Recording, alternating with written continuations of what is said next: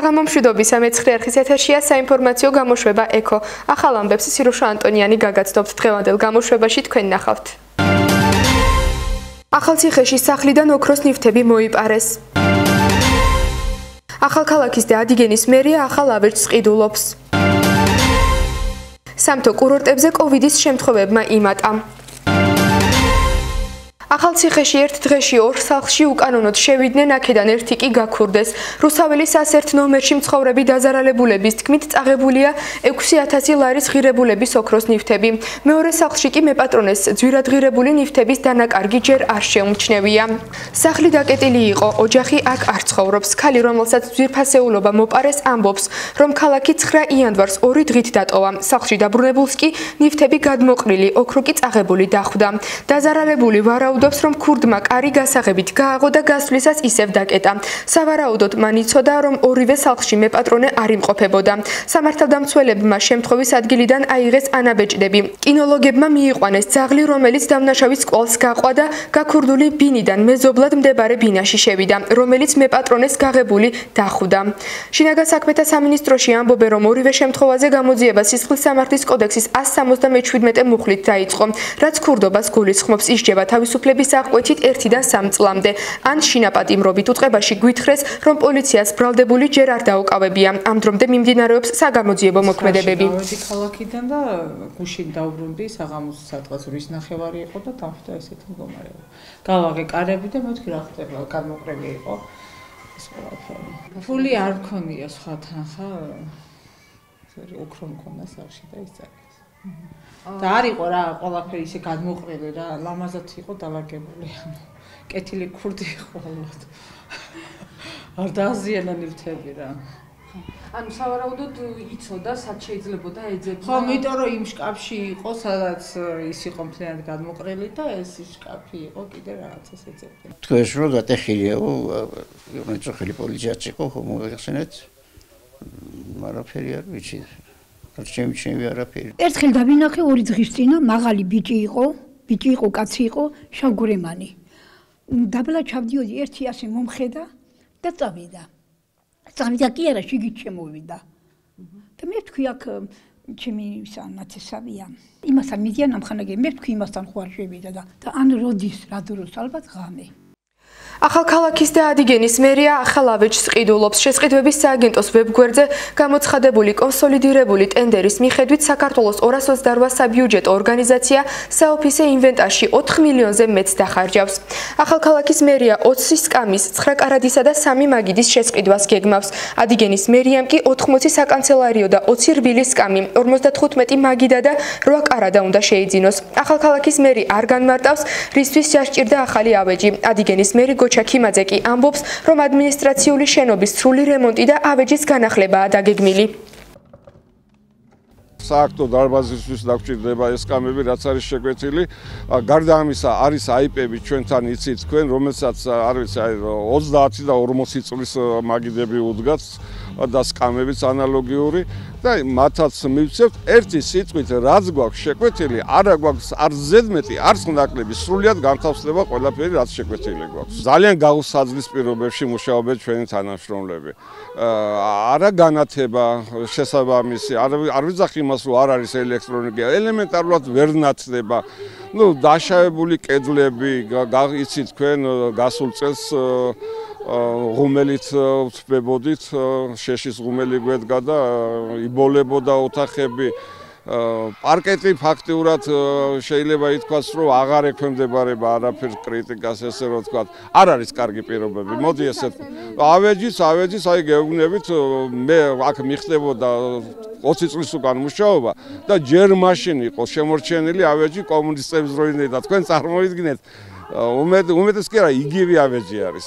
როცა იქნება სამუშაო დღეები მოხალთ ახალ ქალაქში და ნარჩენ პასუხს მიიღებ პირდაპირ მერიაში და ვინც მაგ საქმეზე იციან და იქ ტენდერი გამოცხადეს იმათ უფრო კონკრეტულად აგიხსნა თქვენთვისაც არანაირი საპრენტეზა რომ აღებას დარჩენილი. კარგად იცით რომ სამუშაო დღეები არ არის აფამდე. ყოველთვის ინფორმაცია მე არ მაქვს. რამდენადაც ვიცი არ მინდა რომ დეზინფორმაციის სახით რომ მოხდეს. ახალციხის 99-ში ბუნებრივი აირის აფეთქების შედეგად დაზიანებული корпуსის რეაბილიტაციისთვის მესამედ გამოცხადებული ტენდერი დასრულდა. შესყიდვების ვებ-გვერდზე გამოქვეყნებული მონაცემების მიხედვით ტენდერში მონაწილეობა მხოლოდ New Project-მა მიიღო. ამჟამად პრეტენდენტის შერჩევა შეფასება მიმდინარეობს. თუ კომპანია არ დახარვეზდება და მასთან ხელშეკრულება გაფორმდება, საცხოვრებელი სახლის გამაგრება, გაძლიერების და წყალკანალიზაციის სარეაბილიტაციო სამუშაოების ჩატარება 9 კვირაში მას მოუწევს. სატენდერო დოკუმენტაციის მიხედვით შესყიდვის ღირებულებაა 115218 ლარი. კორპუსში აფეთქება 2020 წლის 24 დეკემბერს მოხდა. მას შემდეგ შენობა დაკეტილია. ბინების მეპატრონეების ნაწილი კი მერიას ქირით ყავს გაყვანილი. ხუთსართულიანი სახლის რეაბილიტაციისთვის გამოცხადებული ტენდერი ორჯერ არ შედგა. მასში მონაწილეობას არავინ იღებდა. 150000 ლარსა ყველა ტენდერში იპარავენ ესე, გაიგე და 150000 იმას არ ეყოფ ამ უწმენდას. და მოსაპარიც ხონდათ. შეგვპირდნენ ხალხს შეხვალთო, მაგრამ არა. ისე ისე ვართ, არ ვიცი. არც არ გვეუბნებიან, ტენდერი იდება, მაგრამ მიხალა რეალური ფასი არ არის, რომ არავინ არ იღებს თავზე. სამცირე თანხასდებენ. თანხა არ ყოფნისო და არ კიდებს არავინ ხელს. ე, ე მაგაზია საუბარი. თუ რამდენ ხანს აი ორი კვირის საქმეა სულ დაიწყო აკეთება. თანხა არ არის საკმარისი და მაგ თანხაში კიდე ამ ხელა შენობას ვერ გაამაგრებენ სათანადოდ ომიკრონის შტამის გავრცელების გავლენა ეპიდემიოლოგიურ მდგომარეობაზე და ჰოსპიტალური სექტორის მზაობა განიხილეს უწყებათა შორისი საკოორდინაციო საბჭოს ხდომაზე, რომელიც პრემიერ-მინისტრი ირაკლი ღარიბაშვილის ხელმძღვანელობით მთავრობის ადმინისტრაციაში გაიმართა. შეხვედრაზე აღინიშნა, რომ ომიკრონის შტამს გავრცელების მაღალი სისწრაფე ახასიათებს. შესაბამისად, განსაკუთრებით დიდი მნიშვნელობა ენიჭება ეპიდემიოლოგიური უსაფრთხოების ნორმების ზედმიწევნით შესრულებას, პირბადის ტარებას, სოციალური დისტანციის დაცვას და ხალხმრავალი შეკრებების თავიდან აცილებას. ასევე ხაზი გაესვა ვაქცინაციისა და ეგრეთ წოდებულ ბუსტერ დოზებით აცრის მნიშვნელობას ვირუსით ინფიცირების შემთხვევაში დაავადების მსუბუქი მიმდინარეობისთვის. მეექვსე ტალღის უკვე შეიძლება ითქვას აღმავალ აა აღმავალ ნიშნულზე ვართ. ანუ თანდათან ძლიერდება ცირკულაცია ახალი შტამის ქვეყანაში. ჩვენ გუშინ კიდევ ერთხელ გადავხედეთ ყველა მონაცემს რომელიც არის ლაბორატორიულად დადასტურებული ქვეყანაში და იმის მიხედვით ჩამოყალიბდით რომ დღევანდელი ცირკულაციის პროცენტი ყველა დადებით შემთხვევაში ომიკრონის არის დაახლოებით 45%-ის ფარგლებში.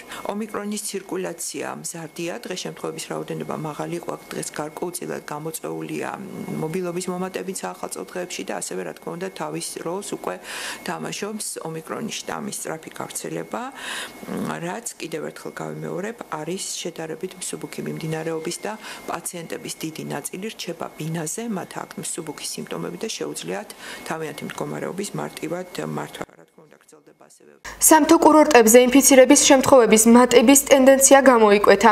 ეს განცხადება უწყებათა შორისი საკოორდინაციო საბჭოს ხდომაზე გაკეთდა. საკურორტო სეზონის გათვალისწინებით საბჭომ კიდევ ერთხელ მოუწოდა დამსვენებლებს დაიცვან ეპიდემიოლოგიური უსაფრთხოების ნორმები.